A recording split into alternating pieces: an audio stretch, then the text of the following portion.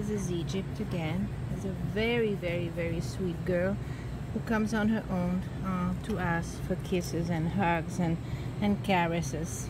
She's very, very, very gentle. She's a beautiful smile and uh, she's mostly very easy to handle, uh, which you know for many owners is important not to have a dog who pulls you, who jumps, goes for the leash, and you know give you a workout that you do not want to have you know every day and three times a day. This little gal she is not like that.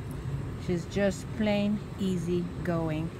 And that uh, the type of dog I'd like to have that's for sure.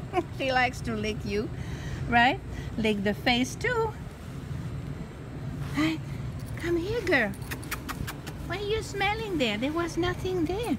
There was nothing there just me hmm yeah, yeah. It's really a nice girl. As I said before, everybody loves her. She has already a court of admirers here at the Manhattan Care Center. So this is, oh, Egypt.